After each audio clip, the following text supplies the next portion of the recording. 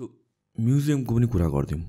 तपाईँलाई म्युजियमको पनि हामीले अस्ति नै कुरा गर्दाखेरि कति कुराहरू म्युजियम भने कस्तो हुनुपर्छ र यहाँ के प्रब्लम छ भन्नुभएको थियो?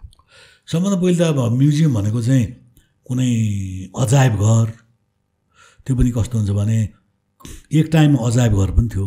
जुन बेलामा सिनेमा थिएन जुन बेलामा डिस्को डान्स बारहरू केही थिएन अनि मान्छेले हेर्ने भनेको म्युजियम हो मोनोटनस हुँदा। अनि पछि त अब एउटा टिभीमा तिन सयवटा च्यानल आउनु थाले। अनि मान्छे नजाने भयो म्युजियम हेर्न। अर्को तर चाहिँ के भयो भने थिएटरहरू बने नाइट क्लबहरू बने म्युजियमलाई कम्पिटिसन भयो।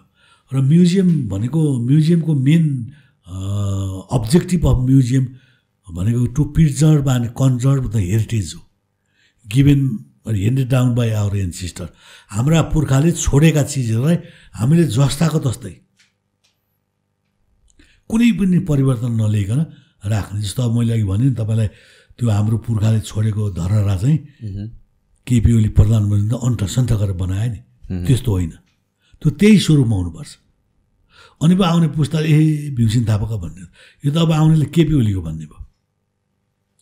त्यसले गर्दाखेरि जस्तो अब यो गिलास तपाईँले कस तपाईँको बुवाको नाममा म्युजियममा दिनुभयो भने यो दिएकै दिनदेखि यो क्युरी पसल क्युरी भइगयो। यो चाहिँ एन्टिक सामान भइगयो। यसको कुनै पनि चिजमा केही परिवर्तन आउनु भएन। कुनै पनि डिके हुनु भएन। कुनै पनि कुरामा बिग्रेको हुनु भएन। र तिन सय वर्ष पाँच सय वर्ष आउँदा नि यो त्यही रूपमा हुनु पऱ्यो जस्तो एउटा राजा ज्ञानले के भन्थ्यो भने यो मेरो नासो सुरक्षित राख्नको लागि दिएको छु भनेको थियो कि। दिएको छु त भनेको छैन नि। सुरक्षित राख्न मात्रै दिएको। भनेको प्रिजर्भ गर्नको लागि दिएको भनेको कि। आउने पुस्तालाई थाहा होस् भन्नको लागि हो। अब तपाईँले चाहिँ यहाँका म्युजियमहरू त मैले पनि जागिर खाएँ। तर हाम्रा म्युजियमहरू म्युजियम नर्भसँग कुनै पनि कुराहरू छैन। अब यो कोही मान्छेले सुनेर यसले म्युजियमै जागिर खायो म्युजियमै क्रिटिसाइज गर्यो भनेर भन्दा क्रिटिसाइज गरेको नि हो कुरा नै यही हो। लाइटको छैन कन्जर्भेसनको छैन डकुमेन्टेसन भन्ने हुन्छ। तपाईँले म्युजियमको हाकिमले चाह्यो भने त्यहाँको भित्रको मूर्ति सार्न सक्छ। भित्र थुनेर राजा त्यसै एउटा गौतम बुद्धको मूर्ति बनाइदियो भनेर एउटा माडालाई बनाउनु नहुने नाप जाँच गरेर त्यो राखेर त्यो झिके त भइगयो नि मतलब त्यो डकुमेन्टेसन छैन क्या। तर तपाईँलाई त्यही कुरा जापान कोरियातिर भने त्यो निकाल्न सक्दैन। वन्स कम्प्युटरमा इन्टर गरेपछि त्यो डिजिटै गर्दैन। अनि तिनी कुराहरू केही पनि छैन। अर्को कुरा के छ भने तपाईँ हनुमान ढोका जानुहोस् नेसनल म्युजियम जानुहोस् आर्मी चाहिँ पुरा गन लिएर बसिरहेको हुन्छ। अहिलेको अवस्थामा त्यो काँधामा बोकेर त्यो मूर्ति निकाल्छ र बाहिर चोरले। निकाल्दैन। त्यहाँ त्यत्रो आर्मी भएको बेला त्यो महेन्द्र ग्यालजीको सबै सामान चोरिएको छ अनि त्यो सेनाले के गर्यो त? त्यसले गर्दाखेरि म्युजियम कस्तो हुनु पऱ्यो भने इन्भाइटिङ गर्नु पऱ्यो निम्ता गर्ने पशु पशु जाउँ जाउँ लाग्ने। अब गाउँको मान्छे हामीलाई मेल्टी यस्तो यस्तो भन्ने थाहा छ। नथाहा पाउनु त आर्मी पुरा यस्तो छत्री टोपी लाएर गन लिएर दायाँ बायाँ नहेरी बस्दा त पड्काउला कि हान्ला कि क्या डर लाग्छ नि। टेरिफाई क्रिएट गर्यो नि त्यसले। त्यो क्रिएट गर्नु भएन। एकदम निम्ता गरे जस्तो जाउँ जाउँ जस्तो लाग्ने। त्यस्तो हुनु पऱ्यो नि। तब हनुमान ढोका जानुहोस् सोध्नुहोस् त्यहाँ आर्मीलाई थाहा छैन।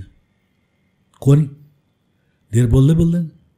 अनि तपाईँलाई मैले अर्कोपल्ट सोध्ने पिट लागि जस्तो लाग्छ। होइन र? त्यसले म्युजियम सेक्युरिटी त्यो होइन क्या जुन सेक्युरिटी दिने कन्सेप्ट छ नि त्यो होइन। अब भित्रबाट मूर्ति चोरिसकेको छ दुनियाँ किङ महेन्द्रको उयो हतियारहरू चोरिरहेछ। अनि तर के छ भन्दाखेरि मेल्टी गन लिएर बसिरहेको त्यहीँ तल बस्ने हो फेरि। तपाईँ जानुहोस् कि त्यहाँ त्यो जुन भर्याङबाट झर्थ्यो चोर त्यो त्यही भर्याङको छेउमा मेल्टी बस्ने हो। चोरी भयो त। त्यसले जुन सेक्युरिटीको कन्सेप्ट हो नि यी पाटन म्युजियममा कतिपल्ट चोरी भयो। चोरी हुन्छ हल्ला हल्ला हुन्छ पक्राउँदैन चोर। के त? चोरी भएको त त्यो न हाकिम नमिरी कसरी चोरी हुन्छ? भक्तपुरमा कति थानका चोरी भयो? कहिले त्यो मान्छे पक्राउ भएको छैन? अनि चोर्ने भने कसले त भन्दा थाहा पाउनेले चोर्ने नथाहा पाउने त सबै थानका एउटै देख्छ उसले। हनुमान ढोकामा राखेको थानका पनि त्यही हो। थमेलमा राखेको थानका पनि त्यही हो त्यहाँको पनि त्यही हो चिन्दैन उसले। जसले एकदम चिन्छ नि मजाले थान्का अनि उसले यो चोर्ने भन्छ। चोर छ उसले। अनि भोलि यसो निकाल्यो पुलिस मुचलका सुचल गऱ्यो पत्र पत्रिकामा निकाल्यो कहाँबाट चोर्यो यहाँबाट चोर्यो भने अनि भोलि पर्सि पर्दैन चुपचाप भइगयो। अनि एउटा मूर्ति अमेरिकामा पायो भने चाहिँ त्यो सियाल कराको हल्ला गरिदियो। अनि दुनियाँ पत्रिकामा यो संसारमा ठुलै काम गरे जस्तो गरिदियो। अब फेरि कस्तो हुन्छ भने यो भेषनारायण दाल भन्ने डाइरेक्टर हुनुहुन्थ्यो उहाँ पुरातत्व विभागमा। उहाँ हुँदाखेरि धेरै मूर्ति पास गर्नुभयो। त्यो नयाँ मूर्तिलाई पनि पुरानो भनेर पुरानोलाई पनि नयाँ भनेर पास गरिदिने क्या भेषनारायण दालले उहाँ र साफल्य माथि दुईजना मिलेर र यसमा मिलो मत विष्णुराज कार्की र रणबहादुर शाह रणबहादुर खड्का भन्ने पनि यिनीहरूको सुन्थेँ म। किन यिनीहरूको इकोनोमिक एक्टिभिटी दुई तिन वर्षमै चेन्ज भएर करोडौँ करोडौँ पैसा देख्थ्यो थियौँ हामीले। त्यसले गर्दाखेरि अब तपाईँ चोरै मिलेपछि के गर्नु हाकिमै मिलेपछि त पुरानो मूर्तिलाई नयाँ भनिदिएपछि त अब त्यो न न पुलिसलाई चिन्छ न कसले होला भने कागज सबै नयाँ छ मूर्ति चाहिँ पुरानो गइरहेछ यसरी पनि जान्छ। बेच सबभन्दा धेरै यसो बेचनारायणजीले गर्नुभयो। उहाँले त केही पनि गर्नुहुन्थ्यो अरे भने हनुमान ढोकामा त्यो क्युरे हुन्छ नि। हनुमान ढोका देखिन्छ नि ठमेलतिर भक्तपुरतिर। तिनीहरू हप्ता असुल्ने के? गुन्डाले हप्ता असुल्ने जस्तो त्यसले गर्दा अब तपाईँ जसलाई जिम्मा दिएको छ त्यसले नै चोर छ भनेर के गर्न सकिन्छ? यी ठिकै छैन उसँग। उसले आफैले त्यो कामहरू गर्छ। अनि फेरि त्यस्तैले काम पाउँछ। उहाँलाई फेरि यो के अरे बनारसमा प्रोजेक्ट दिएर पठाएको थियो। र उहाँले चाहिँ के गरिदिनुहुन्थ्यो भने बनारसमा चाहिँ भयङ्कर काम गर्ने मान्छेले काट्ने पिट्ने मैले सब मिलाएँ भने कमै पैसा खाइदिने कि?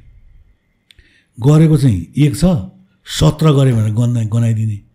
काम चाहिँ आधी पनि गरेको हुन्थेन त्यस्तो त्यस्तो मान्छेहरू चियरमा पुग्दाखेरि चाहिँ यस्तो फटाइ कामहरू